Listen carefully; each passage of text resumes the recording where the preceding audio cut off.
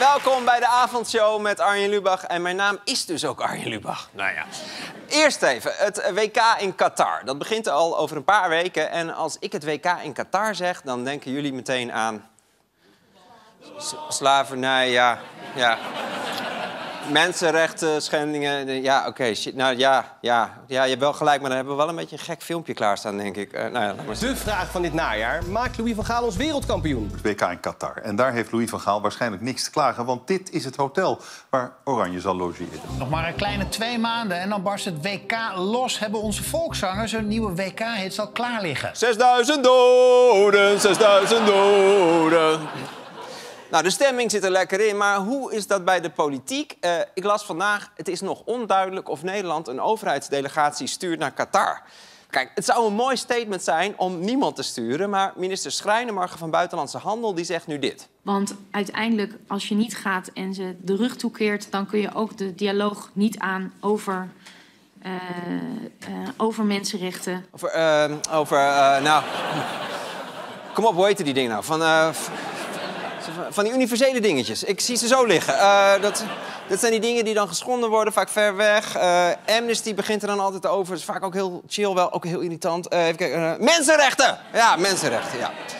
De Tweede Kamer die heeft al gezegd dat de koning en de ministers niet naar Qatar moeten gaan. En daar is anderhalf jaar geleden al een motie over aangenomen. Dus je zou denken, daar gaan ze zich aan houden. Maar het kabinet is nog steeds aan het twijfelen. Die wachten nog af wat andere landen doen. Als wij nu niet zouden gaan, zouden we vooralsnog alleen staan in de boycott van het uh, WK. Nee, stel je voor dat je als eerste een volkomen terecht statement maakt over mensenrechten. Nee, boe. Nee. I might have a dream depending on the others. Sommige Kamerleden die zijn uitgesproken voor. Uh, VVD'er Rutmer Herema die zegt... je kunt er beter wel zijn, want dan kan je meepraten en dingen aan de orde stellen. Ja, die wil gewoon lekker voetbal kijken in het stadion. Ja, toch? Ja. Wij maken ons uh, ernstige zorgen over... Dit is toch rood, scheids? Dit is rood! Het is een uh, schande hoe die arbeids... Moment, hoor, moment. Ja. Ben ik weer. Oké. Het kabinet is er dus nog niet uit, maar ik las wel dat ze in elk geval willen voorkomen om de koning weer in een kwetsbare positie te brengen. Zoals in 2014 toen Willem-Alexander met Poetin op de foto ging.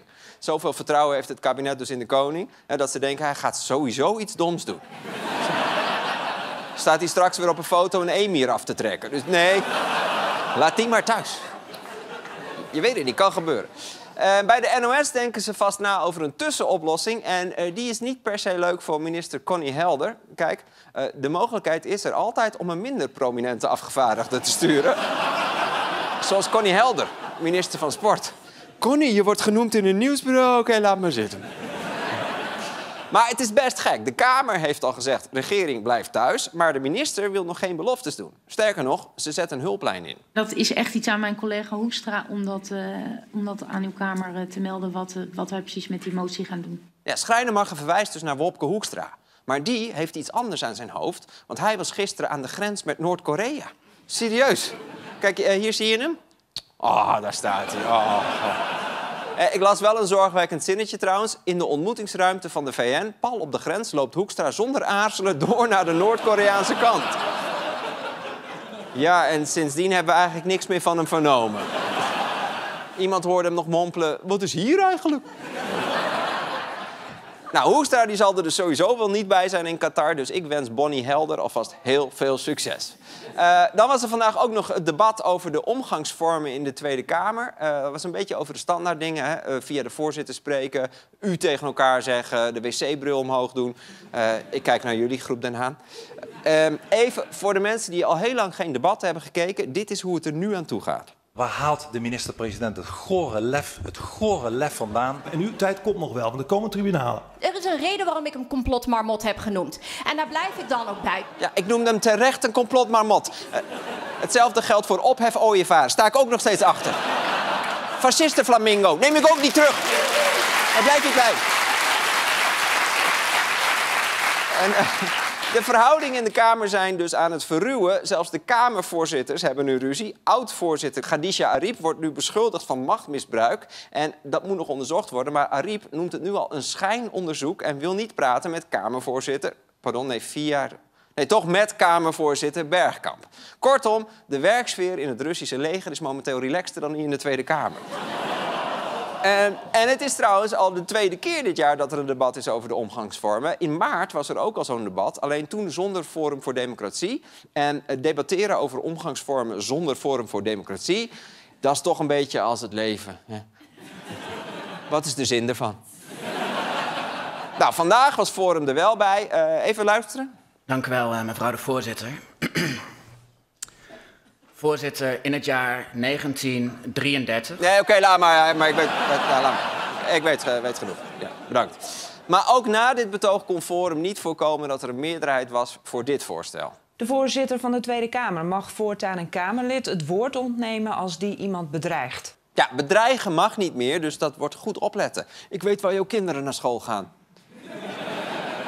en dat is een hele goede school. Wat fijn voor ze. Heel fijn. Heel fijn.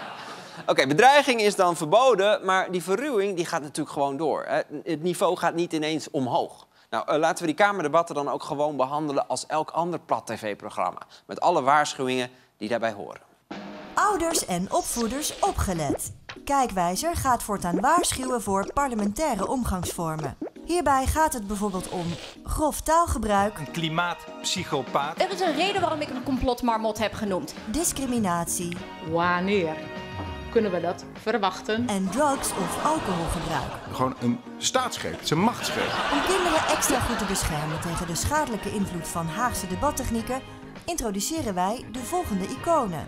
Wollig taalgebruik, Met de uitwerking van de aanbevelingen van de Commissie van Aartsen en kijken met vertrouwen naar de eerstvolgende voortgangsrapportage. gespeelde morele verontwaardiging, Meneer Baudet, ga je schamen. straatintimidatie Ik zal je najagen.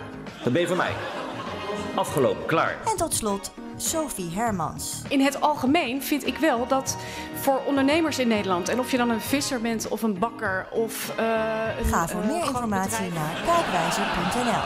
Kijkwijzer, weet wat ze zien. En dit was vandaag. Straks gaan we op reis naar Iran en Jack the Rebel komt opdagen. Maar eerst nog even dit. De avondshow top 36. Nummer 21. Word art. De avondshow top 36. Wow, gefeliciteerd. Jij bent onze kijker van de week. Als prijs mag je gratis geheel verzorgd de hele uitzending kijken op NPO Start. Veel plezier.